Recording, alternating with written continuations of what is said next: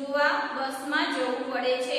પહેલીવાર મને આવી ભીડવાળી બસમાં જતા બી લાગતી મને તેની આદત નહોતી હવે તેજલ શું કહે છે કે મને આવી કે ભીડમાં જવાનું હોય તો મને આવી આદત નહોતી, બીક લાગતી હતી. હું ડરતી હતી, પણ હવે એવું નથી. નથી. મને ખબર છે, લાઈનમાં કેવી રીતે ઊભું રહેવું, ટિકિટ માટે કેટલા પૈસા આપવા? ક્યાં ઉતરવું? તો આ બધો અનુભવ ટીચરને થવા માંડ્યો. અમે જ્યાં રહીએ છીએ, ત્યાં નજીકમાં ઊંચા મકાનો છે. મારા મામી ત્યાં સાત ઘરની સફાઈ અને વાસણ ધોવાનું કામ કરે છે. તેજલના મામા રહે છે ત્યાં થોડા ઘર છે ત્યાં તેજલની મામી કામ કરવા માટે જાય છે. એ ઘરના સફાઈ અને વાસણ ધોવાનું કામ કરે છે. વિદ્યાર્થી અહીંયા આપણે પેજ નંબર 33 ઉપર જોઈએ. આપણે જોઈએ, એક દિવસ હું તેની સાથે ત્યાં ગઈ. હવે મામી જ્યાં કામ કરવા જાય છે, તેજલ પણ એમની સાથે જાય છે. જ્યારે પહેલી વાર પહેલી વાર મકાન જોયું, મને થયું કે તે એક મોટું ઘર હતું. પરંતુ મેં જોયું, ત્યાં ઘણા બધા ઘરો એકની ઉપર એક એમ હતા મને આશ્ચર્ય થયું જો હવે બધું જોવે છે તો એ નવાઈ લાગે છે. એકની ઉપર એક ઘર હોય છે તો આ બધું જોઈએ અને તેજલને તો નવાઈ લાગે છે. હું કેવી રીતે આટલી બધી સીડી ચડીશ? પરંતુ ત્યાં લિફ્ટ હતી.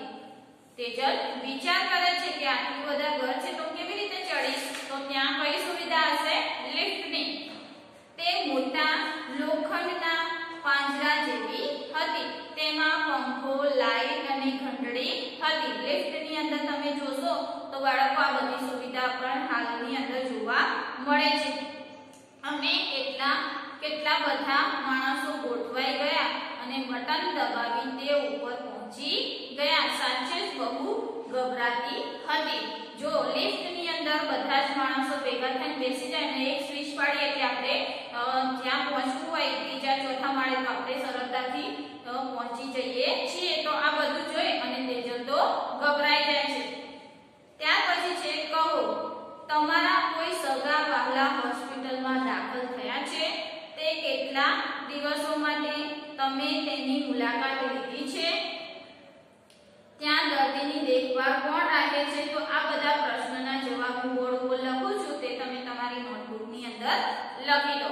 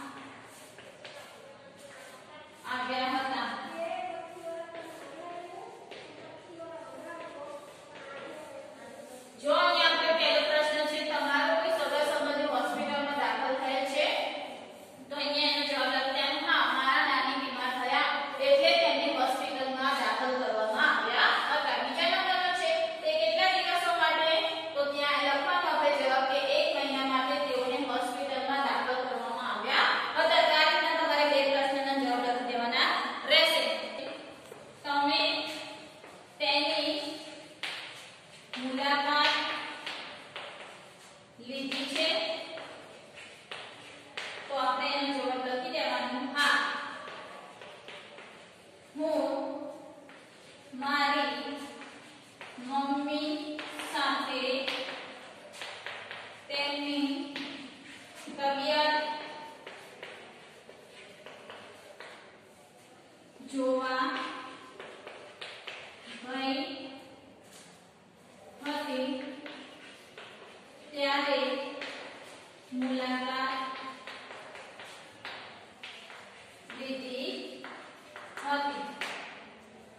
ત્યાર